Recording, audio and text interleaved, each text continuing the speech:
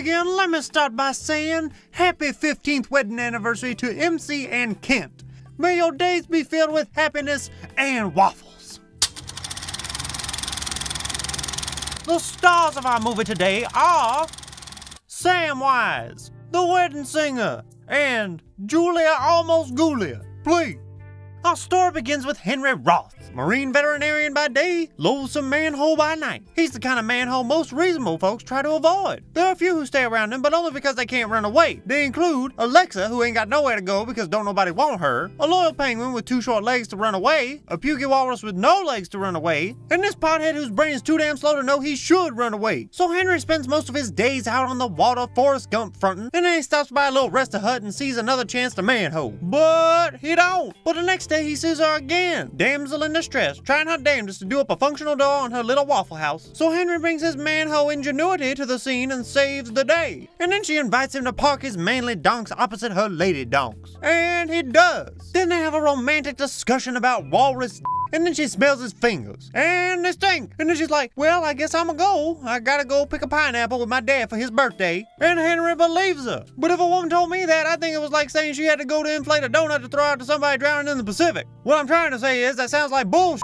But it ain't. Which Henry finds out the next day when he sits down with her and starts talking that nasty about walrus winky and fish fingies. Which got me like, so after she kicks his smooth talking manhole and fish stinking to the curb, Sue gives us a flashback. Something about Lucy, her dad, a pineapple, and a cow, which out of context makes them sound like some mighty kinky so basically, Lucy's brain got foobarred and she wakes up every day thinking it's the same day as it was yesterday, which was the same day that poor cow survived them mighty kinky so Lucy goes home to her sweet pappy daddy and sweaty brother Doug, and they have the same birthday party they have every single day. And after she go to bed, Daddy and Dougie prepare tomorrow for yesterday. So tomorrow, Henry tries what he tried yesterday yesterday, and he stinks. And tomorrow morrow, he tries something new, and he stinks. And to tomorrow morrow, he tries something else new, and he stinks but it works. But what's the point in asking out a woman who ain't gonna remember you tomorrow because she thinks it's today? I mean, women forget me the next day all the time.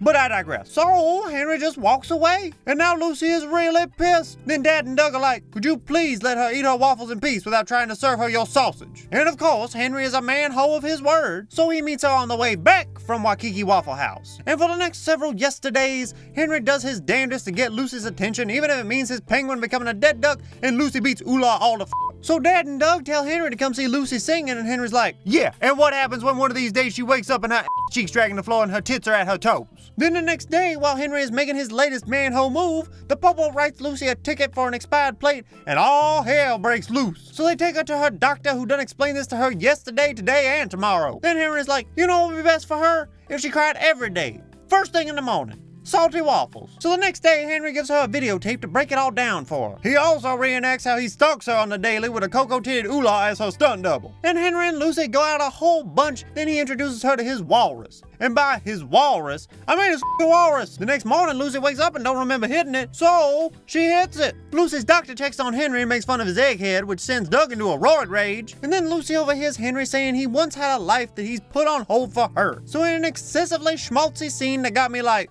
she tells Henry to get, then Henry gets, but not before Dad and Doug arrive bearing gifts, including a Beach Boys CD which plays for Henry the song that Lucy sang on all those yesterdays when she re-met Henry, which I forgot to mention, so bite me, like that shark do when you touch his winkies. Two Winkies! What I'm trying to say is Henry goes back and finds Lucy working at the hospital. And even though she don't know Henry's name, she's been dreaming about and painting pictures of him. Oh, that's so...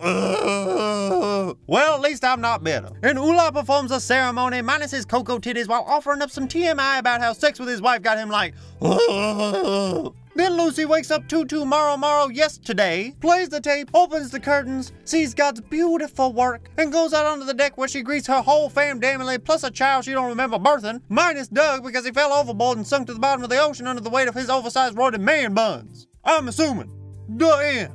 Once again, MC and Kent, I hope you muffins have a lovely life with happiness and waffles. Hold the salt. You may not believe this based on some of the things I've said in it, but I love this movie. I actually quote it often in daily life, which is probably why all the women run away. Four movies explained for. I'm Jeb. This my good eye. Die.